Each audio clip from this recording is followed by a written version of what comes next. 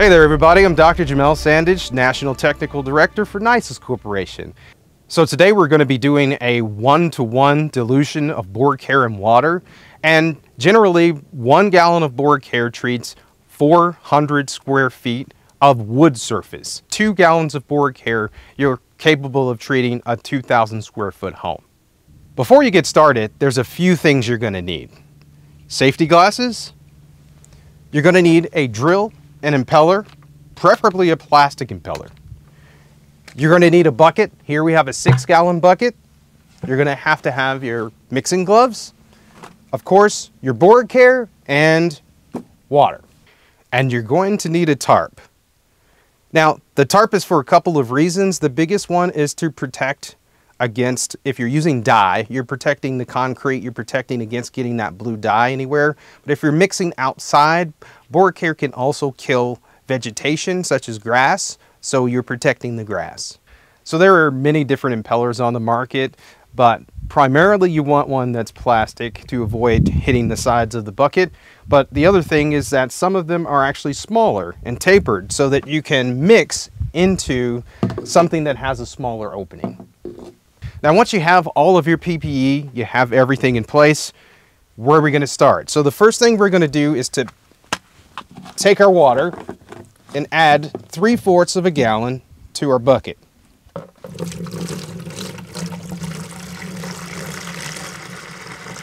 Once you have 3 fourths of a gallon of water in your bucket, go ahead and open your Bora-Care Now start the impeller mixing before you start pouring in the Bora-Care.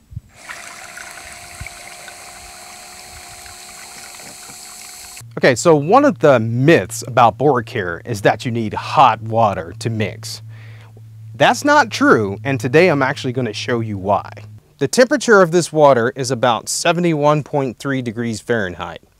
As we start mixing with our impeller, friction will create heat and warm up the solution.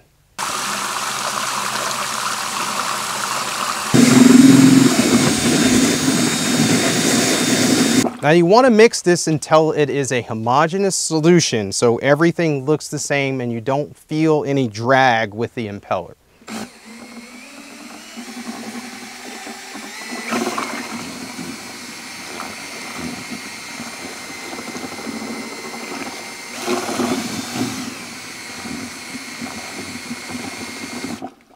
Now we've done our primary mixing. Now we still have to triple rinse this container. All right, so now we're gonna do our triple rinse with our Bora-Care container to get the remaining Bora-Care out of the jug. For this, we're gonna need a funnel.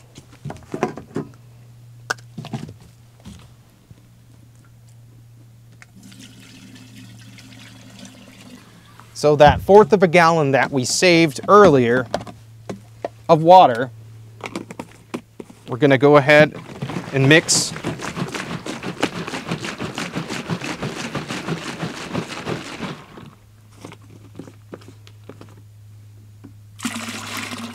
So now you're just going to continue mixing the Bora-Care until you think you have a homogeneous solution.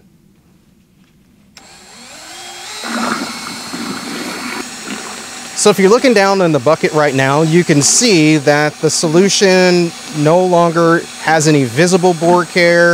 The solution looks about the same. Once we stop, we can see that the impeller moves easily through the solution. So that means Bora-Care is mixed efficiently. I'm stopping here because I want to show you how the temperature rises. So after just a little bit of mixing, you can see that our temperature has risen. So if you're in colder environments or if you're using cold water, the longer you mix the Bora-Care solution, the warmer it will get due to the friction caused by the impeller. Now this happens whether you're mixing Bora-Care or if you're just mixing water itself with the impeller, the temperature will also rise. Now the Bora-Care is completely mixed. Now if you require dye in your state, so check your regulations to see if you require dye for your pre-treatments. But if you do, this would be the point in which you would put a small amount of dye in there just so it changes the tint. Not enough dye so that it's highly visible. You just want to make it slightly blue. And then you're ready to put it in your tank and start spraying. One thing to remember is that Bora-Care at a one-to-one -one ratio needs to be used within 24 hours.